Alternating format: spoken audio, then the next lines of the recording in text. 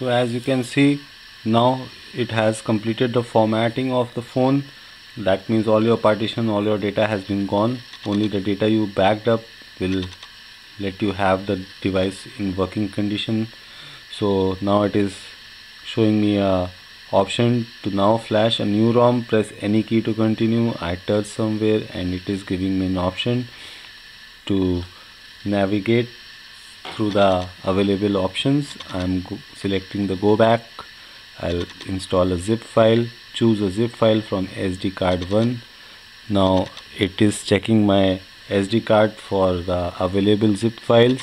You can simply drag and select a zip file you want to flash. Let me remind you again this is a CM10 based CyanogenMod 10 based ROM and somebody has published it notoriously by saying it is a CM11 ROM. It was not a CM11 ROM.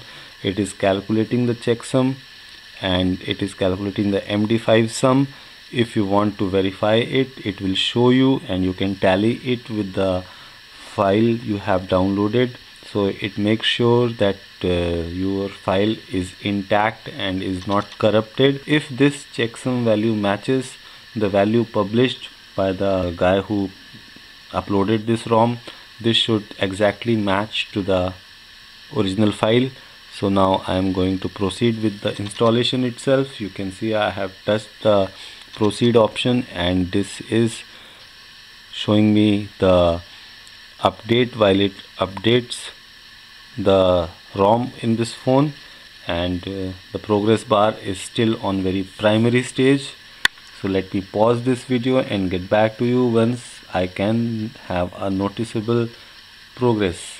You can see the no you can see the blue bar has started and uh, complete in just a couple of seconds. Now it has completed the install. Now you have to go back. And one thing you should know that this this cm10 based rom does not have the google apps or GApps google applications will not be installed.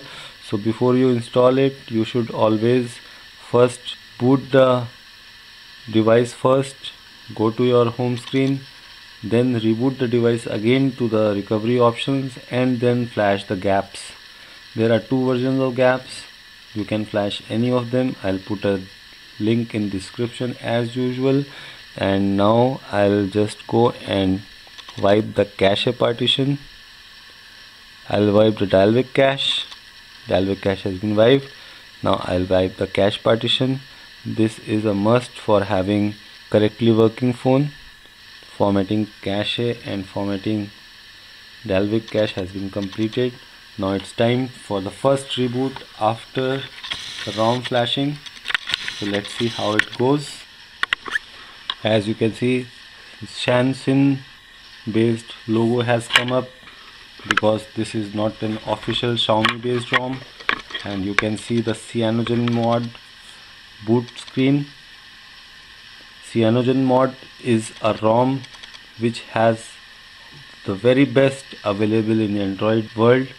So I'll highly recommend you if you don't like MIUI this is the option you should be going for. Cyanogen based ROMs are the perfect ROM for day-to-day -day use and this gives you a very good battery backup also.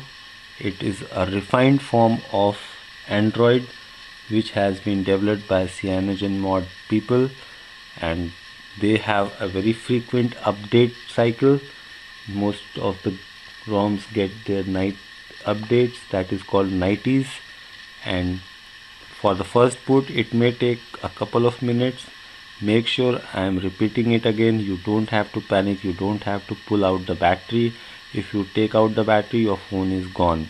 Now you can see the phone has come up right to the home screen but I can notice the language is not yet English so I'll have to go and hunt for the language option in this thing.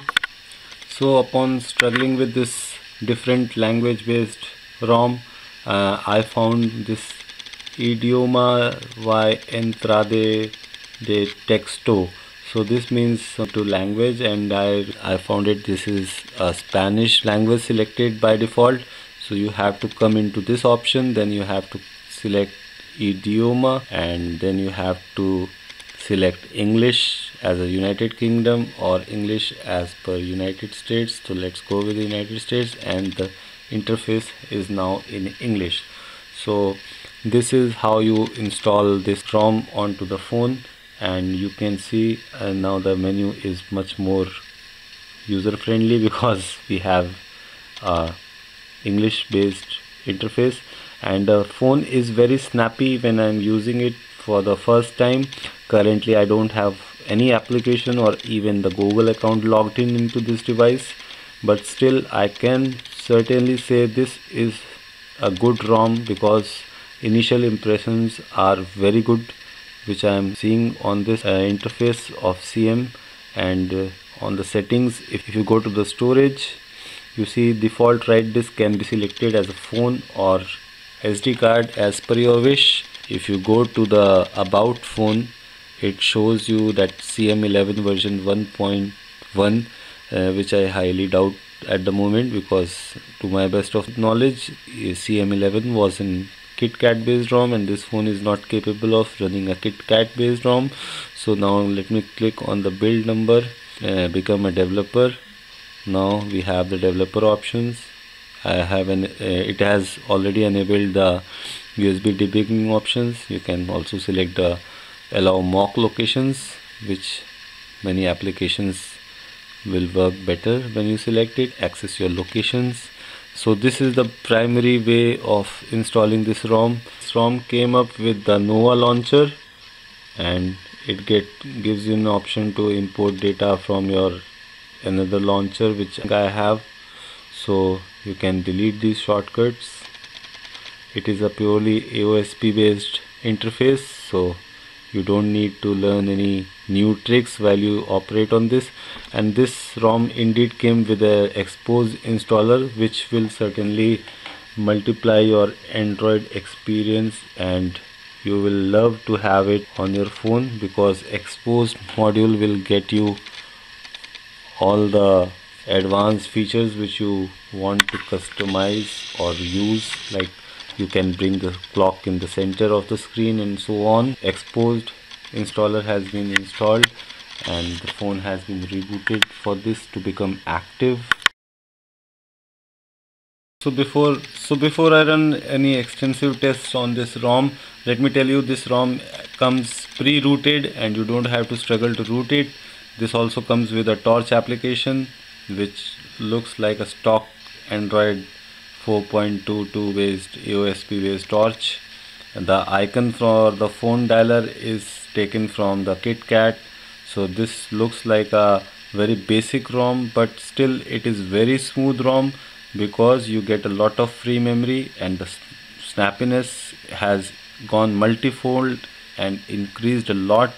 I can see the phone is performing very well it is almost working around twice the speed I was getting in the MIUI based interface. 1.6 GB of RAM is available for the phone so your games are gonna run very very smooth